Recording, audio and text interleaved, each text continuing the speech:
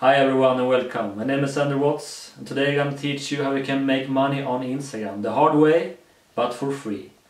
So first you're gonna have followers. If you only have one follower it's gonna be hard and tough to find a business that wants to promote on your channel. So you gotta have at least, I don't know, 10,000 or more. You can do less.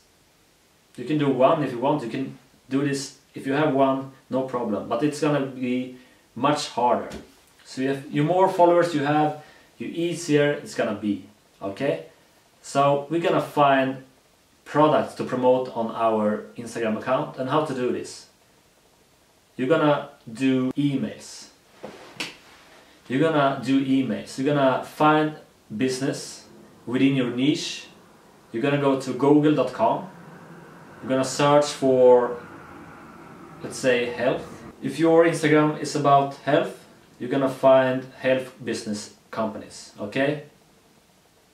So just go to Google, type in health business, health products, whatever, and go to the website, find their contact information, copy the email, then you're gonna make an awesome email. So then you're gonna email them once you're gonna add the email in the Word document so you know that you have already emailed them. So you don't email them twice. You're gonna add email one, the date, and you're gonna email five a day. Every day until you get success. And then you're gonna keep going emailing, okay? So email five a day, add them in the Word document, email one, email one, email one, and the email and the date, okay? And after about four days when you don't get answers you're gonna email them again. You're gonna change the email. You're gonna add an email template number two with some extra information. You don't send the same email. It's not good. Okay? So you're gonna do that after four days email two. And again after four days email three. And then you're gonna email every week every seven days email four, five, six, seven, eight until they answer. Okay?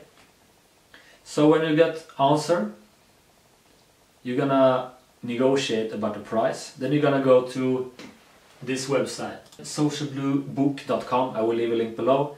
You're gonna add your Instagram account and then you can see how much suggested price you should take for each post.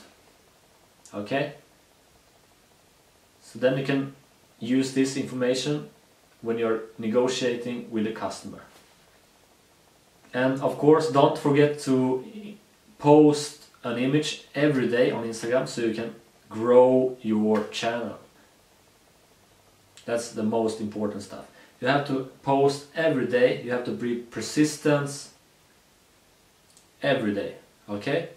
So this is my tip of the day. I hope this uh, helped. Uh, please share your experience in the comment below and you have an awesome day. Bye.